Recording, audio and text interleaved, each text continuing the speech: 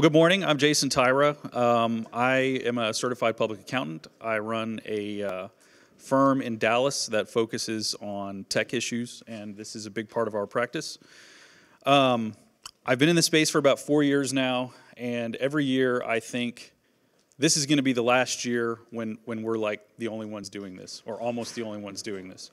And every year it does not happen. So my four-person firm is still, um, to my knowledge, one of only a very small handful of CPA firms that are willing to do this kind of work. Um, and I think Daniel Winters is another one, and he's floating around here somewhere. Um, and he'll be giving a presentation that's covers slightly different issues, I think, tomorrow. Um, I originally had had this for an hour, and uh, I think I'm down now to half an hour. This is So he'll be up for about 20 minutes, and then uh, we can do about 10 minutes of, of Q&A before our next speaker. That's Well- the most we got. Here, here's what we'll do. Uh, We'll, we'll take the whole 30 minutes. Just interrupt me with questions anytime. Um, I want I want this to be kind of an interactive thing. I think it works better that way. Um, so what I want to talk about is, is current issues in virtual currency taxation. Uh, this is a collection of about I think five questions that I get over and over and over. And especially this year, uh, there's a lot of new adopters because of what the price has done uh, in the past 12 months. So these are issues that, that tend to come up. They're not really new issues, so if, if you're familiar with taxation with virtual currency, I'm probably telling something telling you something you already know. Uh, but again, feel free to interrupt with any questions that you have. Um, so the substantive guidance in this space was originally provided by the IRS in 2014. It's technical notice 2014-21. It's about four pages long, and it's the only guidance that's ever been provided. And essentially, what 2014-21 says is that virtual currency is property. And the term the IRS uses is virtual currency because it covers things other than crypto. Um, give you a little background, the working group that created this originally was focused on things like World of Warcraft gold and Counter-Strike skins and things like that. So uh, things online that really had a gaming focus uh, that were uh, where the IRS noticed that there was actually value being exchanged but not taxed. So that's what we have. Um, and because it is so short, um, we have to sort of interpret how that would apply to uh, the virtual currency space given uh, what each individual taxpayer is doing. So, for instance, you might be a professional trader, and what that means to you is different from her, who would, you know would be like just trading for her own account. Um, there have been no uh, private letter rulings issued since then, so there's not any kind of direct, um, personalized guidance that we can look to. There have not been any tax court cases that have been litigated since then, and this is three years later, uh, over three, almost four years later now. So, um, so there's not a lot. And um, what I'm going to tell you is my professional opinion. Uh, another CPA might tell you something that is slightly different, hopefully not completely different. Um, but again, you know, feel free to interrupt. Um, Okay, so first question I get a lot is when are my gains reportable? And the answer is in the year when they occur. Um, you, you must recognize income for tax in the year when you, when you realize it, okay? Um, one common misconception is that um, unless I cash out to fiat, I actually don't have any tax due, and that's, that's not correct. Um, when you trade uh, actively, or even when you don't trade actively, anytime you trade, if you if you recognize a gain, that's that's when that's actually taxable. Um, and those are called disposals. That's that's the, the IRS term for any time you you turn loose a piece of property as a disposal. Uh, mining proceeds are ordinary income. Uh, they just go on the. I'm sorry. Go ahead. So anytime you trade, but if, what if you were to store, for instance, Bitcoin, you buy a large amount and store it for years, and it gains a value, you have to pay, you don't have to pay, or I mean, how would that work? You just cold stored it for, I I misunderstood that. Okay, so so think of it like with a with a security. If you buy a stock and you just sit on it, regardless of what it's worth, you haven't actually realized a gain until you sell it. And it's the same with virtual currency. But if I trade one Bitcoin for however much Ethereum, I haven't cashed out to dollars, but the IRS requires you to treat that transaction as if you had like an intermediate part where you sold for cash and then used the cash to buy something else.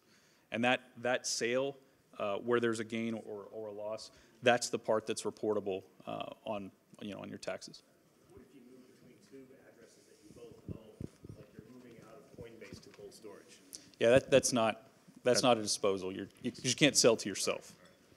Yeah. So I might be jumping the gun here, but um, as far as talking about trading, say from one crypto to another, how does IRC code ten thirty-one concerning like-kind exchanges factor into that? That's like four slides away, but we'll get to it. Okay?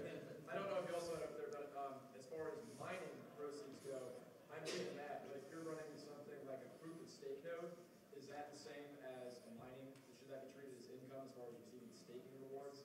Or is that treated differently than mining proof of work? So I'm, I'm actually not familiar with that technically, what it is, but I'm assuming it generates a stream of revenue. Okay? So it, anytime you have revenue coming in, you, you're going to have tax due.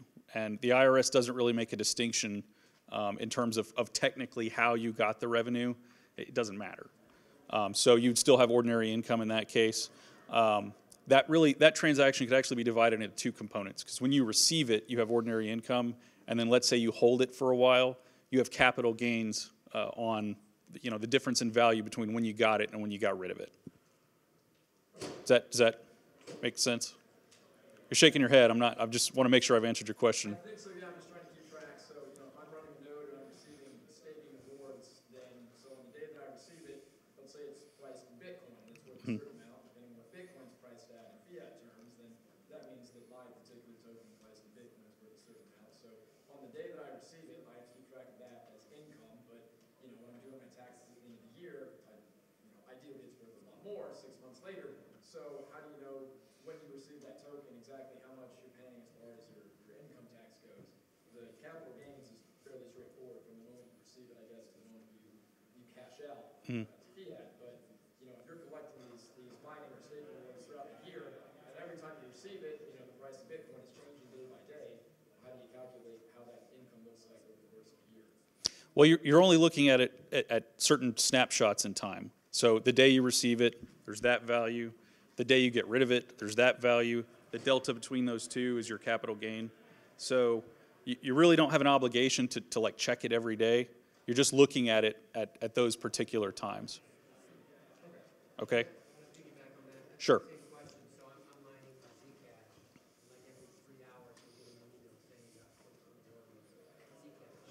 got 0.01 Zcash. So if I'm mining for Zcash and every three hours I get 0.01 Zcash or whatever, um, am I going to need to make a transaction in a spreadsheet that says at 3:01 a.m. on the central time, uh, that day I went to this one website and it told me that that 0.01 Zcash was worth, uh, you know, a dollar, and now I've got a capital gains reportable instance for that one dollar, and I'm going to do that thousands of times over the course of the year. Now, perhaps I could just increase the, instead of getting it every 0.01, I get it every one Zcash or whatever. But it seems like a ton of transactions. And at the risk of sounding flip, my, my answer is, do you have to do that? Yes. Okay, And that- and so, That's why people don't like 2014-21. okay. Um, so, I mean, there's, there's, you can develop some strategies. Nobody really knows how the IRS is going to look at this. So, let's say you have some automated means to, to only do this once a day, and you, you out, you, you know, you aggregate those gains once a day, and take, you know, whatever the price is at that time, and that's what you put on your spreadsheet. That'll probably work fine, um, but it, it won't be as accurate. So right now, IRS has this set of regulations. What if in the future they change it? Would they backdate it for the prior years that they, you know, they did it before? Okay, so sometimes that kind of thing happens, but but usually not. Is there historical precedent for having a retroactive application of new tax laws? Yes. So there is a process for the IRS to uh, introduce what are called proposed regulations. And uh, there's actually a whole uh, spectrum of regulations that were originally introduced as proposals that have been proposals for like decades because the IRS has never closed the loop on finalizing them. Um, in this space, I, I just I don't see that happening because the, the treatment is already so generic and so basic that uh, what what you would really be looking at then is a carve out that would generate uh, refunds. And at least it, in the tax sense, you have three years to claim a refund, so there would be no benefit really beyond three years to having a law be retroactive. Okay, uh, we're, uh, we're gonna move on, so, uh, I'll, I'll get you. That's why I said this is like two hours worth of material and we have hardly any time here. Okay, um, so if you're trading for your own account, you can either be uh, conducting business if you're involved in the trade or business of virtual currency trading, basically if you're a day trader. Um, but for most people, it would be considered a hobby or a personal investment activity.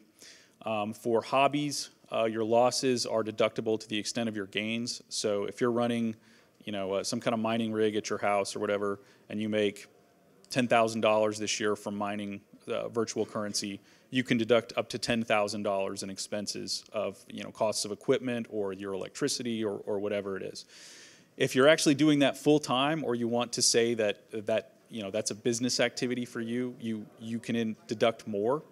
Um, but your tax outcome will probably be uh, not as good. Uh, in that case, you'll be subject to self-employment taxes on whatever you earn. Um, the way that you value your holdings will, will be slightly different, uh, or it can be. Uh, you could adopt uh, mark-to-market accounting, which would require you to update your, your value every day with the mark-to-market piece, or at least at the end of the year. Um, so, um, so yeah. Well, it's not, it's not something where you can like go back and forth year over year. I don't mean that. I mean, in a given day, you have so much volatility in some of these assets that let's just say that, you know, if you were going to uh, mine, right? I could warrant, for example, you know, on a given day, there's gonna be a swing of X percent. Market the low, which shows less of gain, right? Or less, I'm sorry, less income. So the IRS looks at substance over form. Um, and I, if I, I think I understand your question. And so if you're, if you're doing that, like if you're manipulating um, pricing by taking, you know, today I want to take the average value and tomorrow I'm going to take the low value or, and then the next day I'm going to use this other pricing source or whatever so that you can, you can generate sort of like a curated result that, that's probably going to be disallowed under audit. And, and the reason is there's, there's no economic substance to it beyond uh, reduction of tax. Okay, I mean, there's, there's no business rationale for, for manipulating pricing data that way. Does that answer your question? It, it does, but most of the country does that data. Well, well, yeah, I mean, I, and, and, okay. Um, okay.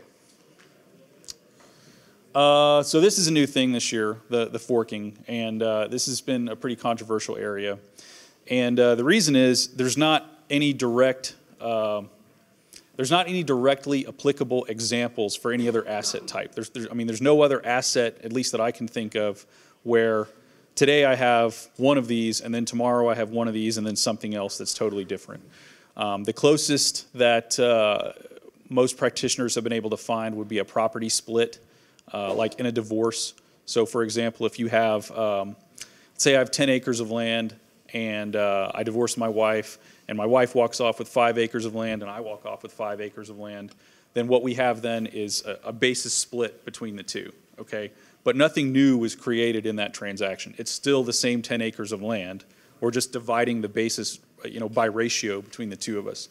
Well, that's not what you have with, uh, with a fork like what happened back in August. You have something that's totally new. You couldn't trade it. Uh, Bitcoin Cash could not be traded prior to whatever August 1st or whatever day that happened.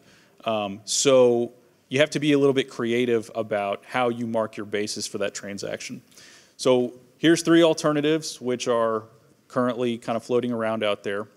Um, I personally believe that alternative number one is the way to go, and that's what I've been advising clients to do. Uh, that is basically to mark it as a coin with a basis of zero. Uh, it would be the same thing as like if you found an asset on the ground, um, or it got dumped on a helicopter at you or something. Um, and then whatever you, your holding period basically determines what your gain is. So if you have a holding period of more than a year, then whenever you uh, dispose of it, whatever you got for it was a long-term capital gain. Uh, alternative two is to treat the first tranche as ordinary income. So let's say it's worth $100 when you, when you get that coin. You recognize ordinary income on that day of $100, and then you go to capital gains treatment over time. Uh, and alternative number three is uh, the kind of ratio example, like with the property split. Um, I, I don't think that would work, and, and it's actually kind of complicated if, if you look at that to try and figure out by the market values of the two and like what, how much the market value of this one declined and by, and, and how much this one went up or whatever. Um, but that is, you know, one of the methods that's been floating around as a way to uh, determine basis. Like-kind exchange treatment. Okay, I, I get this over and over and over. It's probably the number one question this year because people have uh, booked so much in gains. Here's the thing. Uh, in case you don't know, uh, Internal Revenue Code Section 1031 basically allows you to defer gain on the disposal of an asset when it is exchanged for another asset of like kind. And an exchange means an exchange. If I sell my house and then I take the cash and I buy another house, that's not an exchange uh, unless it's set up properly uh, using the rules under Section 1031. Okay, so where traders are wanting to use this is I'm trading, you know, high speed every day between um, Bitcoin and Litecoin and Ethereum and, and whatever else. I don't want to report any of those until I finally cash out. So I'm going to call it like kind, and I'm just not going to report anything. Okay, that's not that's not the way to do it. um, there's no statutory reason why 1031 should not be allowed to work with virtual currency. I get asked about it a lot. I've not seen a fact pattern where, where, it, where it could quite work yet, uh, mostly because of timing. Um, but there are rules, okay? Um, the code specifies that you must identify the asset that you're giving up, you must identify the asset that you're getting in exchange, and the identification requirement um, applies to the person facilitating the transaction. So like if I'm, if I'm doing my disposal on Coinbase, I have to provide Coinbase with a written uh, notification that I'm claiming uh, deferral of gain under Section 1031. And in that example, there's no mechanism for you to provide that information to Coinbase, so that makes it pretty hard to, to claim the treatment. Or if you're trading, you know, uh, you know, on a decentralized exchange and you don't know who the counterparty is, so it's impossible for you to provide notice to that person. Um, after you identify it, uh, there's a 90-day, I think it's a 90-day window uh, where you have to pick up a new asset either before or after the transaction occurred. So if you are trying to defer gain on an asset um, and, and you're, you're setting it up where it's not a direct thing, you have to uh, involve a third party intermediary to hold the asset for you until you can complete the transaction. And again, that uh, becomes an issue on a decentralized exchange where it may take 20 or 30 transactions to actually fill the order. Now you have 20 or 30 counterparties. You have nobody in the middle. It's impossible to have somebody in the middle. So that would kill your, uh, your 1031 claim right there. Um, and then, like I said, in most cases, you're not going to be able to use Section 1031 because the transaction that you want to defer a gain on has already happened, or you just didn't set it up properly. So, so this is the answer. It is possible. There's no statutory reason why it wouldn't be possible, um, but uh, it, it has to be set up and, and planned for in advance. And we have some other issues here. I think Daniel Winters is going to talk about more of these uh, tomorrow. Um, so uh, FinCEN Form 114 is otherwise known as the FBAR. Um, the IRS is, is like the, the IRS is not FinCEN, but they run FinCEN uh, or, or they speak on behalf of FinCEN. The only guidance ever received on this was like an offhand verbal comment at a, an at a conference, I think. And they basically said, we're, we're not worried about virtual currency. Um, what I'm advising clients to do is to file it anyway. It's, it's, it's too easy to, to just do it. Um, and this isn't specifically for virtual currency. This, tip, this is, uh, the FBAR applies to foreign financial accounts. So if you have an account at an exchange overseas, that's when the FBAR requirement would be triggered.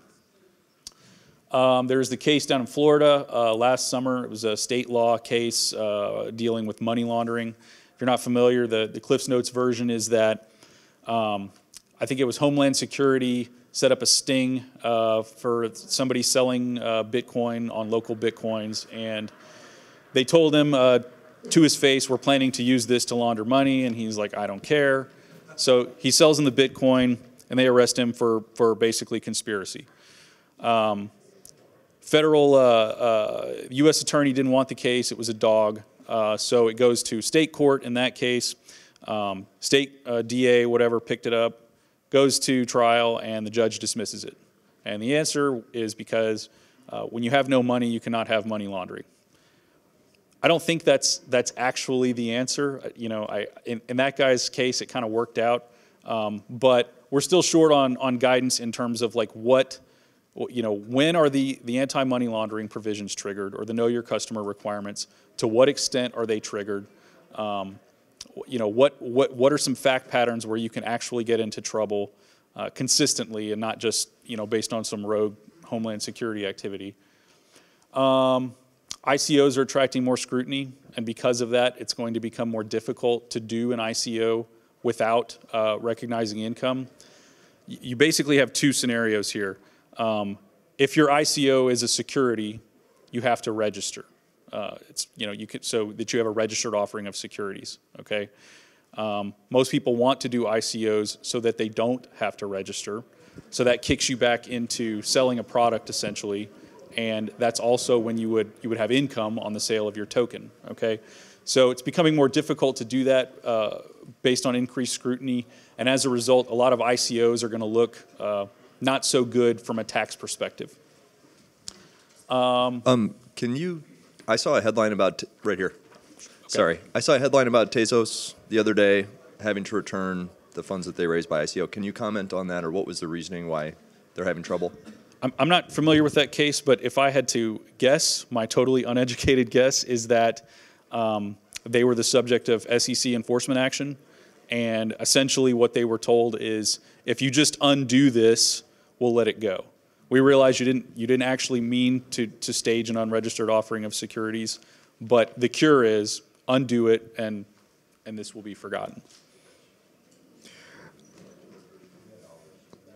was like two hundred and thirty million dollars they raised in their ICO, and I saw a headline, saw a headline that, that they have to give it all back to the investors. Go ahead. So um, I think there's a difference when classifying, at least from SEC, SEC perspective, about security versus file uh, utility tokens. Uh, could you comment on that and see the difference between the two and uh, for the taxation purposes? So the, the, the basic difference is if the token comes with the ability to participate in management of the company, uh, and so the, uh, you know an example would be the uh, the DAO token. Um, that is a security, all right. If you're just if it's just like pre-purchasing something like the right to use a service, for example, or the right to exchange for a product in the future, um, the uh, Bolt tokens that uh, uh, the guy that went before me was talking about, that's an example of something where you would have income because you're really just selling a product. It's a virtual product, but it's it's it's the same as like if I went online and bought, you know, a music file from iTunes or, or, or something like that. Say again. Kickstarter. Or Kickstarter, exactly. So uh, that, yeah, so that's the same model. And, um, you know, Kickstarter does not allow you to buy equity. Why? Because it's not allowed to have a uh, general solicitation of online uh, securities except through Regulation CF or Regulation A+. So um, as the SEC starts to look harder at these, you know, now you're looking at something where you can get $230 million in income, except you're going to have to pay $70 million in tax on that income. Uh, and there's there's some kind of creative ways around that, which are uh, you know uh, that we've been able to put together for certain companies. Um, but for the most part, you're, you're probably just going to have tax due. Because I think with the Tezos token came the ability to vote on protocol changes in their, uh, uh, platform. Yeah. It came with some managerial or some you know, ownership. And, and unfortunately, the downside of that is once you strip that stuff away, they become less attractive to a lot of investors as you know something they want to own. So, so my next question is, they raised two hundred and thirty million dollars. By the time they got the notice from the SEC, the value of those tokens had, had gone up to about four hundred million. So what happens with that hundred and seventy million delta? Well, okay, I'll tell you what, what's not going to happen. And what's not going to happen is they get to keep that $170 million. Um, that, that's called disgorgement. It's when basically you have to give back uh, ill-gotten gains. So um, I'm not sure if that would be forfeit or if the, the original investors would, would get that, that uh, appreciation. But I suspect that once the ICO is undone, that market value is just going to be wiped away. So going back to 1031, does your firm have, or, or do you know of a place that might have um, like a, a, a list to follow or a set of procedures whereby an investor or a trader who says, okay, well, I really want to take advantage of deferring my, you know, taxable events and maintaining a cost basis for my investments, where if you were to follow this certain set of rules or stipulations, those trades could be considered like-kind exchanges under 1031. I know one example when you were talking about having large volume orders that maybe be filled by you know multiple sellers i know a lot of exchanges have the ability to select you know fill or kill you know if, if you can't if you can't fill it all at once then don't even do it so are there you know changes or stipulations or is there uh, that you know of a list where you could say okay if you do these things in this order that's considered 1031 com- compliant Well, okay, well, section 1031 is the checklist because it tells you what you have to do. We would not provide that kind of guidance because I, I don't want to get sued, basically. Um, at least we would not provide it outside the context of you having retained my firm as, as our client, okay? Because then we have privity, and now, now I can give you advice that you can pay for, okay?